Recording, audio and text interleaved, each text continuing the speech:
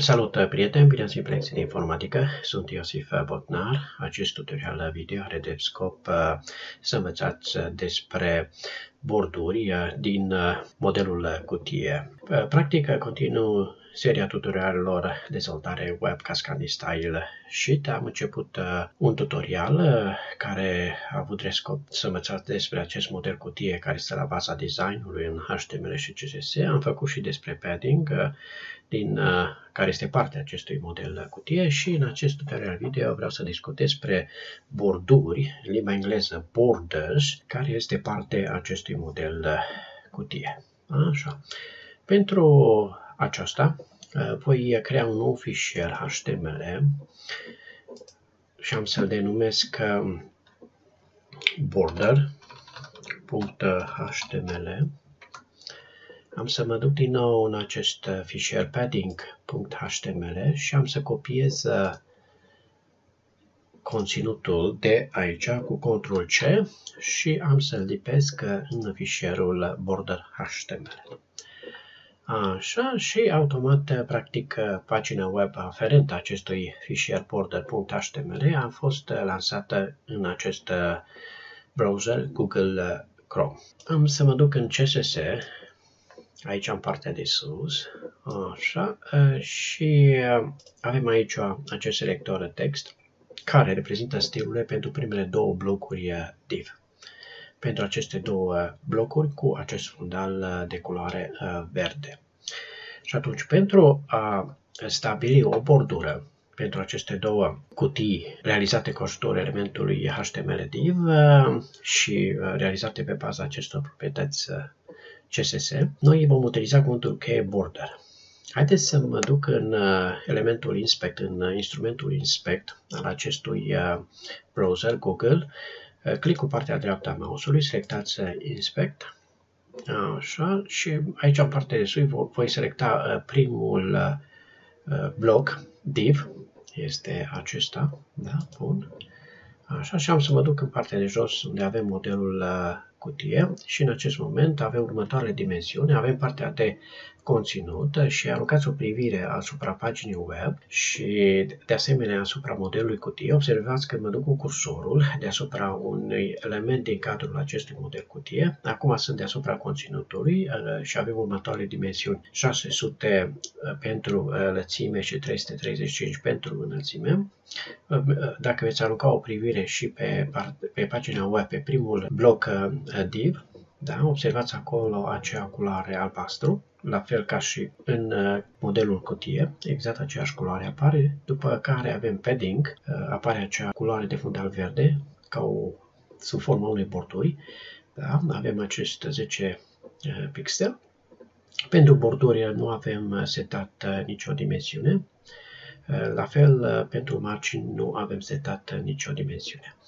Și dacă vom merge aici în CSS, acest lucru putem să facem și chiar aici în acest uh, instrument Inspect. Avem pentru lățime acest 6 de pixel care apare aici în conținut așa cum vedeți și avem 335 pentru înălțime care se modifică flexibil pentru că în CSS nu am setat proprietatea height, deci nu am setat nicio dimensiune pentru proprietatea height și ca urmare înălțimea în care se încadrează acest conținut va fi uh, flexibil. Uh, bun, și atunci um, haideți să setăm o bordură. Pentru aceasta vom utiliza acest cuvânt că border, uh, care reprezintă proprietatea, două puncte și după care vom scrie valorile care vor reprezenta stilurile pentru această bordură. De exemplu, aș dori grosimea acestei borduri să fie 10 pixel, Eh, după care eh, doresc eh, să setez culoarea. Am să mă duc aici în acest meniu, în View, și am să lansez acest Show Color Picker și am să selectez de aici o culoare, să fie acest violet, îmi place acest violet,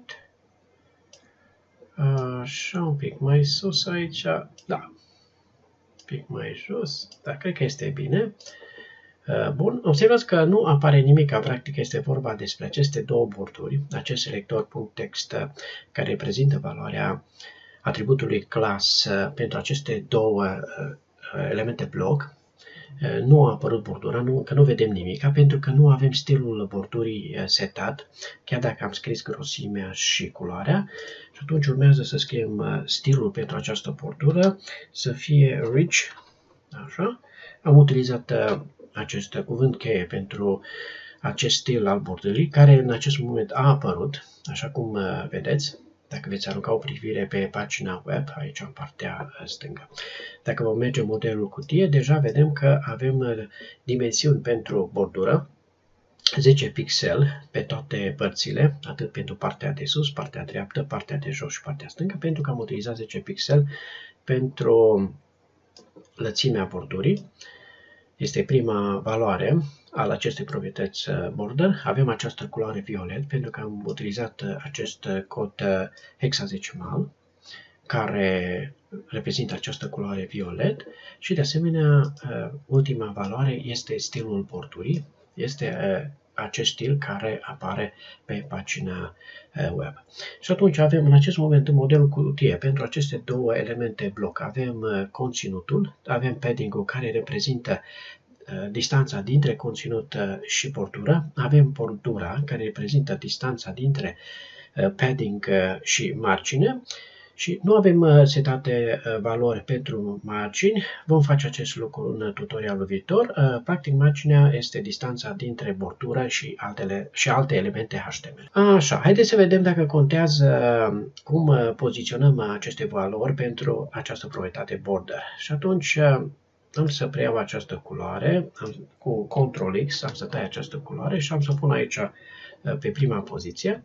Voi șterge uh, acest stil și voi lăsa doar 10 pixel și voi scrie în partea de mijloc aici stilul bordurii rich. Observați că nu are nicio importanță, obținem același lucru, uh, deci nu contează cum veți plasa Uh, aceste valori uh, reprezentate de culoare, stil uh, și grosimea porturii în cadrul acestui proprietăți border. Bun, așa. Dar în același timp trebuie să știți că noi avem o, o serie de proprietăți uh, pentru uh, a seta uh, bordurile. Noi putem uh, utiliza o proprietate separată pentru stil, noi putem utiliza o proprietate separată pentru culoare, pentru lățimea bordurii și așa mai departe. Haideți să vedem atunci uh, cum lucrează acest lucru uh, și uh, pentru aceasta voi modifica stilurile pentru aceste elemente bloc de aici, care, uh, ale cărui stiluri au fost setate de acest selector text 01, care reprezintă valoarea acestui atribut class de aici și practic acest bloc div este reprezentat, acest bloc div este reprezentat în editorul brackets de această parte div. Așa, mergem înapoi sus, aici în cadrul CSS intern, în cadrul acestui selector text 01 și atunci haideți să setăm stiluri pentru borduri, pentru aceste elemente div și vom merge și aici în acest instrument inspect pe ultimul element div, da? așa, care de altfel corespunde cu această parte, cu acest bloc div care se vede pe pagina web. Așa, atunci vom separa, vom utiliza uh, proprietăți separate. De exemplu, pentru border uh, width, da? reprezentând lățimea uh, bordurii, și aici avem cuvinte cheie, uh, medium, thick, thick, thick înseamnă gros, thin înseamnă uh, o grosime mai mică, uh, subțire, da? dar uh, am să utilizez uh, numere și atunci am să scriu uh, 20 de pixel. Așa.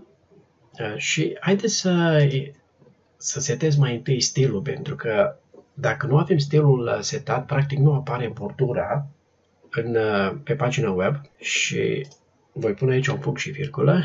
Am să vă duc aici și am să scriu border style două puncte și ne apare această listă cu stilurile pe care le putem utiliza pentru borduri. Eu să selectez de această dată acest grup.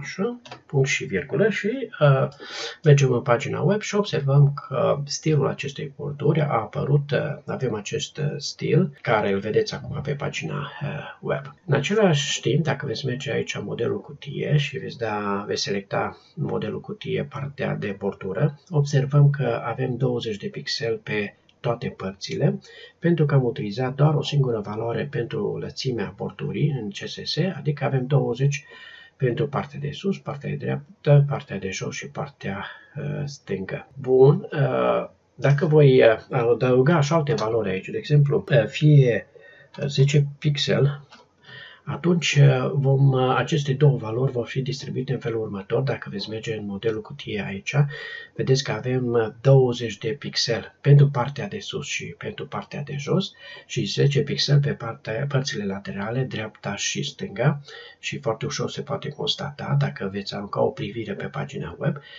grosimea este diferită pentru partea de sus partea de jos și părțile laterale, dreapta și stânga, pentru că am utilizat valori diferite, 20 de pixel pentru partea de sus și jos și 10 pixel pentru partea dreaptă și stânga. Dacă vom mai adăuga, de exemplu, 5 pixel, putem merge din nou în modelul cutie și vedem, avem 20 pentru partea de sus, avem 10 pentru partea dreaptă și pentru partea uh, stângă și avem 5 uh, pentru partea de jos. Deci această dimensiune 5 pixel va fi pentru partea de jos și aruncați o privire uh, și pe pagina web și puteți observa că aici în partea de jos avem o lățime mai subțire pentru că am setat 5 pixel pentru partea de jos. Dacă voi continua și voi scrie 15 pixel, atunci această valoare va uh, fi pentru partea stângă. Mergem în modelul cutie și observați că în partea stângă aici a apărut 15 uh, pixel. Și atunci aceste valori, dacă vom seta în felul acesta uh, lățimea bordurii, atunci prima valoare va reprezenta partea de sus, 20 de pixel, 10 pixel pentru partea dreaptă, Uh, cea de-a treia valoare uh, este pentru partea de jos, 5 pixel, iar 15 pixel este pentru partea stângă. La fel, dacă veți merge în modelul cutie, uh, aceste valori urmează acele părți pe care eu vi le-am spus, deci 20 de pixel pentru partea de sus, 10 pixel pentru partea dreaptă, 5 pixel pentru partea de jos și 15 pixel pentru uh, partea stângă și uh, se poate observa dimensiunile diferite pe care această bordură, grosimea acestei borduri uh, a luat-o, o are datorită acestor valori pe care le-am setat aici în CSS. Bun. De asemenea, putem utiliza această proprietate border color și noi putem, se, uh, putem seta o culoare specifică uh, pentru aceste borduri și de, de această dată am să utilizez uh, cuvintele cheie și pot face același lucru care l-am făcut pentru lățime, adică pentru fiecare parte pot să stabilesc o culoare. De exemplu, dacă doresc pentru partea de sus, să spunem acest blue-violet, așa, în acest moment toate părțile apar blu-violet pentru că am doar o valoare setată. Am să dau un spațiu și, uh, spre exemplu, aș dori să am aici, uh, pentru uh, partea dreaptă, să fie un fel de orange. Așa, să fie acest orange, care este mai mult roșu. Așa, și observați că pe părțile laterale, dreapta și stânga, am acest orange și pe partea de uh, sus uh, și partea de jos am acest blue-violet. Uh, Pot mai departe să mă duc să setez uh, pentru partea de jos o culoare uh, separată uh, și atunci pentru uh, partea de uh, jos uh, ar trebui să fie un uh, verde, să zicem așa. Bun, haideți să ne uităm care ar fi mai, să zicem acest forest green. Da, este bine, sau un albastru, mi-ar place mai mult un albastru, hai să vedem un albastru, să zicem blue, uh, dar este același practic cu partea de sus uh, și atunci uh, să zicem un sky blue.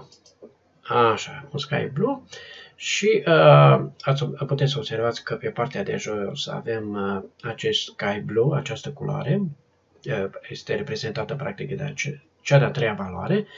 Și ultima valoare va fi pentru partea stângă și uh, am să-i pun un galben să fie yellow și să fie un yellow de care